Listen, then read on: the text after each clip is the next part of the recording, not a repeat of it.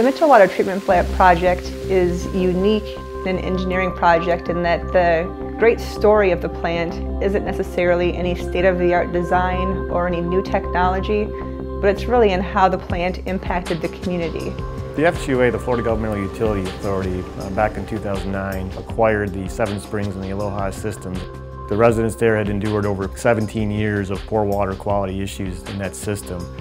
Customer complaints about the bad water started back in 1994. Many customers had black water and strong odor and uh, totally unsatisfactory water.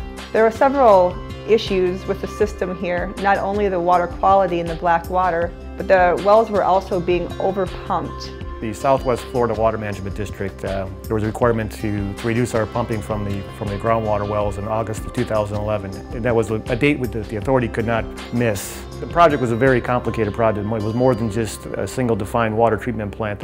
So we ended up dividing it into a program consisting of four projects. One project being interconnections with Pasco County, the second project being the water treatment plant improvements, and then the third and fourth projects being raw water main from the existing water treatment plants, which were going to be converted to raw water wells up to the Mitchell Water Treatment Plant. One of the most difficult components of this project was managing all four of the projects to be able to be completed at the same time so we wouldn't have a treatment plant that was ready to be placed into service but didn't have any raw water piping that came up and connected to it. Having to meet that deadline, that was uh, probably our biggest challenge.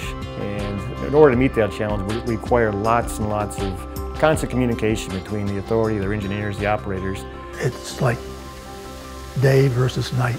It's wonderful, it's drinkable, it looks very clear, and it's great.